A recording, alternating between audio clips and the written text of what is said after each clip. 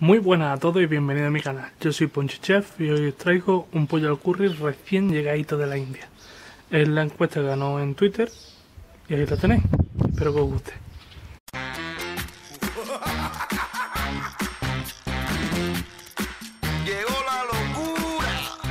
Pues los ingredientes son cebolla en polvo, curry, cúrcuma, jengibre en polvo, pimentón dulce, cayena en polvo, sal, pimienta, canela, comino, ralladura de limón, muslo y contramuslo de pollo, mini cookie pimientas dulces, tomate, yogur natural, cebolla morada, cebolla blanca, ajo y pastillitas de caldo de pollo. Pues empezamos con la super receta metiéndole caña al fuego.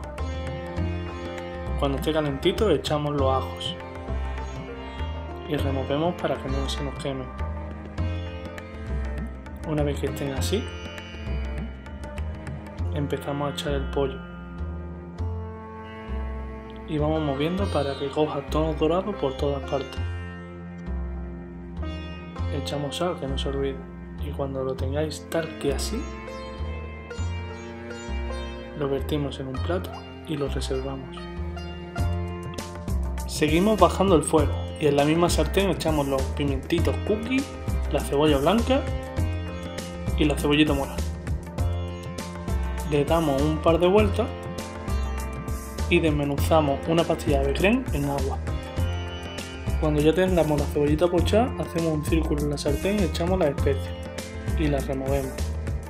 Cuando esté listo, otro circulito y echamos el tomate y lo removemos.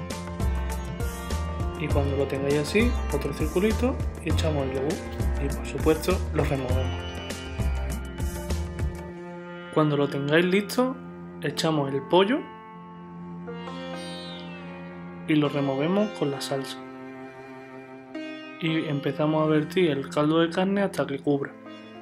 Movemos para que se separe lo que pueda haber pegado a la sartén y dejamos reducir de 20 minutos a media hora. Cuando veáis que tiene esta textura y que ya no podéis aguantar más sin coméralo, es que está listo. Ponemos en el plato donde nos lo vayamos a comer un poco de arroz basmati y sobre él echamos el pollo. Yo siempre digo que cuanto más salsa, más bueno, pero bueno, eso queda a vuestra elección.